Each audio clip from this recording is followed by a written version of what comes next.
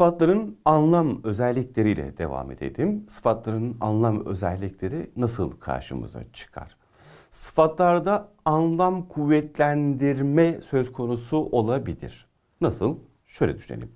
Zarflarla ve edatlarla örneğin bir zarfın anlamı pekiştirilebilir. Örneğin cennet kadar güzel vatan diyecek olduğumuzda dikkat edin cennet kadar güzel vatan diyecek olduğumuzda vatan isim cennet kadar güzel ifadesi kadar edatıyla beraber sıfat grubu kendi içerisinde bir kuvvetlendirmeye girmiştir.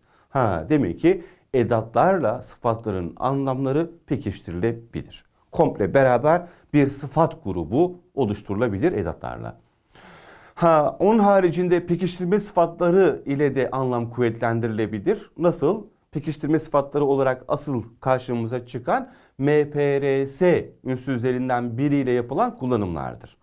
Biz özellikle bir sözcüğün hecesini alıp MPRS ünsüzlerinden bir tanesini getirerek orada bir pekiştirme yaparız.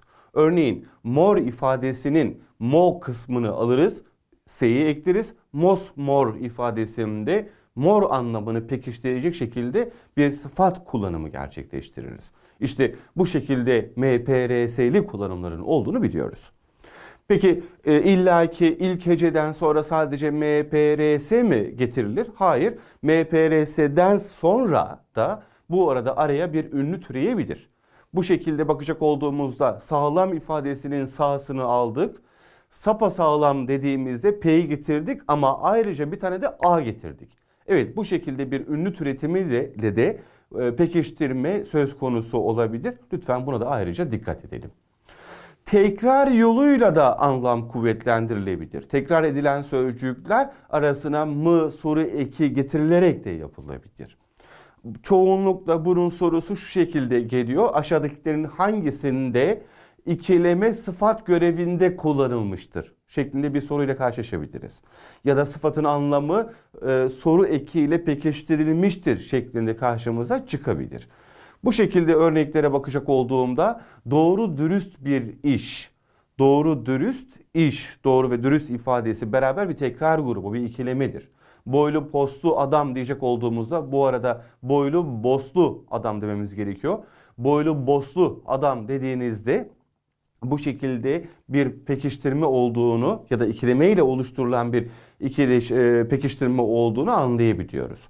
Dedik ki mı soru eki ile de pekiştirme söz konusu olabilir. Örneğin tatlı mı tatlı diller dediğimizde mı'nın buradaki görevi soru anlamı değil pekiştirme anlamıdır.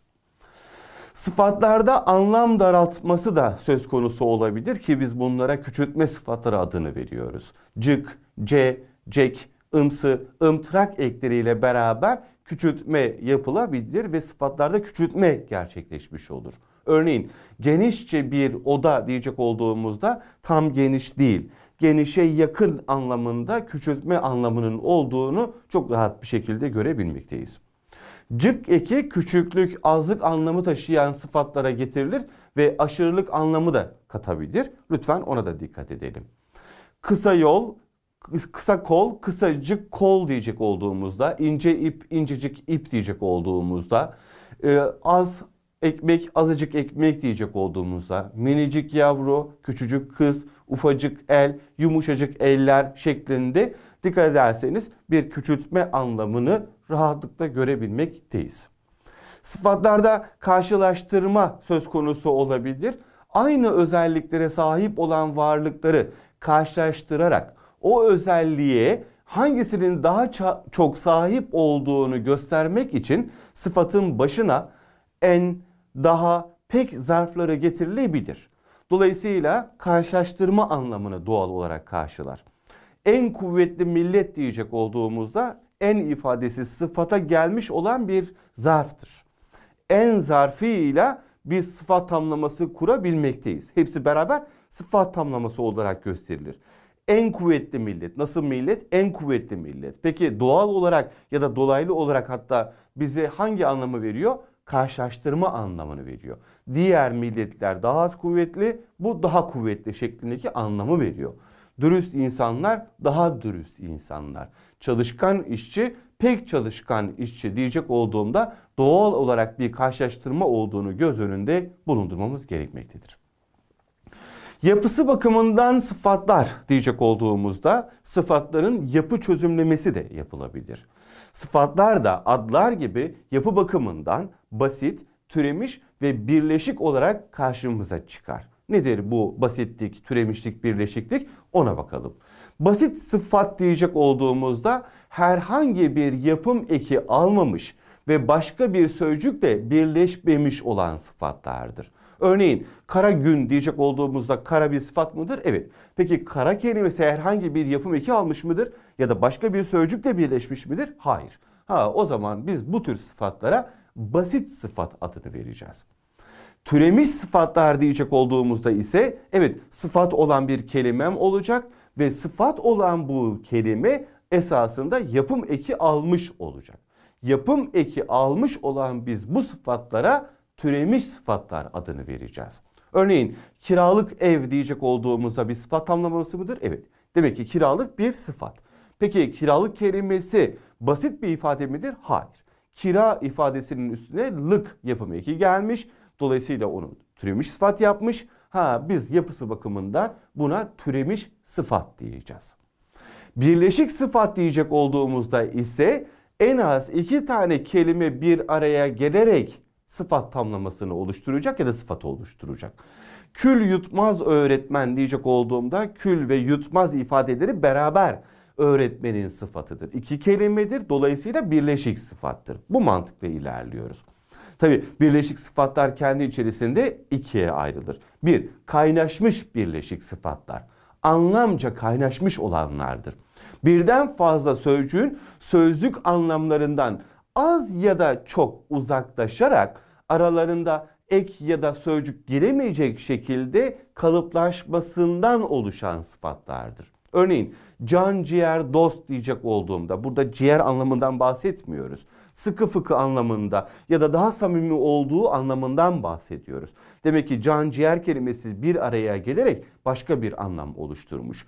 Vatansever, sevmekten bahsetmiyoruz. Vatansever artık bir olgunun, bir kavramın adıdır. Dolayısıyla anlamından azıcık da olsa uzaklaşmıştır ama yeniden bir anlam, bir sıfat oluşturmuştur pis boğaz diyecek olduğumuzda adamın boğazının pis olduğu anlamında değil. Demek ki burada başka bir anlam oluşmuş. Dikkat ederseniz biz bu tarz oluşmuş olan sıfatlara anlamca kaynaşmış birleşik sıfatlar adını veriyoruz.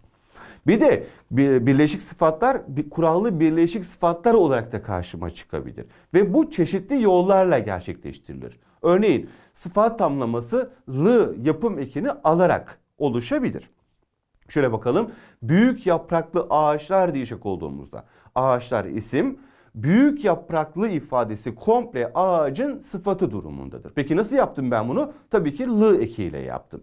Evet biz buna kurallı birleşik sıfat diyoruz. Kurallı bu şekilde yapılan kurallı birleşik sıfatlarda kendi içinde aslında iki tamlama olduğuna da dikkat edelim. Dikkat ederseniz büyük yaprak bir sıfat tamlamasıdır. Büyük yapraklı ağaçlar da bir sıfat tamlamasıdır. Ha lı eki demek ki birinci sıfat tamlamasını komple sıfat görevine sokuyor. Bu şekilde yapılan sıfat tamlamalarına da kurallı birleşik sıfatlar adını verdiğini bilmemiz lazım. İsim artı iyilik eki artı sıfat şeklinde oluşabilecek olan kurallı birleşik sıfatlarım da var. Nasıl yani? Bir ismim olacak. Bu isim iyilik eki alacak. Bundan sonra sıfat olan bir kelime gelecek ve komple beraber bir ismi niteleyecek. Nasıl yani? Şöyle düşünelim. Salonu büyük ev diyecek olduğumda lütfen dikkat. Salon bir isimdir. Salonu onun salonu diyebiliyoruz. İyilik eklidir.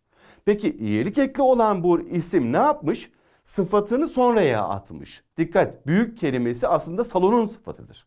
Ama komple beraber bakıyorum. Salonu büyük ev dediğimde salonu büyük komple evin sıfatıdır. Ha işte bu tarzda sıfatla ismin yer değiştirip komple beraber sıfat olduğu durumlarda da biz kurallı birleşik sıfat adını ver, vermekteyiz ya da bunu bu şekilde değerlendirmekteyiz ve Türkçe'de bunlara aynı zamanda isnat grubu denildiğini de göz önünde bulunduralım. Bu tür yapılara istat grupları diyoruz. Yani isimle sıfat yer değiştiriyor. Ve isim çoğunlukla iyilik eki alıyor. Komple beraber bir ismin sıfatı olarak kullanılıyor. Genel adı da kurallı birleşik sıfattır. İsim ayrılma çıkma hal eki dan ekini alarak da bu arada sıfat tamlaması oluşturabilir. Kurallı birleşik sıfat oluşturabilir. Buna da dikkat edelim. Kulaktan dolma bilgiler diyecek olduğumda bilgi bir isimdir. Kulaktan dolma hepsi beraber bir kurallı birleşik sıfattır. Çünkü beraber bir öbek olarak geliyor. Demek ki dan eki de bu birleşimi sağlayabiliyor. Demek ki bu şekilde bir kurallı birleşik sıfatım da varmış. İkileme artı isim şeklinde gelirse de biz buna kurallı birleşik sıfat diyoruz. Evsiz barksız insanlar dediğimde evsiz barksız bir ikilemedir. Ha iki tane sözcükten oluşur. O zaman yapısı nedir diye sorduğumda sen bana bunun kurallı birleşik sıfat olduğunu söyleyeceksindir. Bu şekilde deyimler de söz konusu olabilir. Örneğin cana yakın insanlar diyecek olduğumda çenesi düşük insan hem isnat hem de bu arada dikkat ederseniz bir deyim grubudur. Ha çenesi düşük insan diyecek olduğumda insan isim, çenesi düşük kurallı birleşik sıfat. Ha ama aynı zamanda bir deyim mi deyim. Bu şekilde de kurallı birleşik sıfat söz konusu olabilir. Pekiştirilmiş sıfatlarla beraberiz. Pekiştirilmiş sıfatlar derken neyi kastediyoruz? Aslında az önceki konularımızın birinde de bunu gördük. Pekiştirilmiş sıfat mantığını özellikle MPRS ile karşımıza çıktığını söylemiştik hatırlarsanız. Örneğin sapasağlam çocuk ya da yapayalnız insanlar, çırılçıplak ayaklar, çepeçevre işte e, insan e, şehirler diyecek olduğumuzda ya da yerler diyecek olduğumuzda lütfen dikkat. Burada MPRS aslında iki tane ifadeyi birbirinin anlamının içine geçirmiş, anlamı pekiştirmiş. Sadece yalnız değil, çok yalnız anlamını vermiş. Peki pekiştirilmiş sıfat sadece MPRS ile mi yapılır? Önceki konumuzdan hatırlayalım. Hayır, ikilemelerle ya da mı sure 2 ile de yapılabilir. Tatlı tatlı işte diyelim ki insanlar ya da tatlı mı tatlı insanlar diyecek olduğumuzda demek ki sıfat pekiştirmesi çeşitli şekillerde yapılabilmektedir.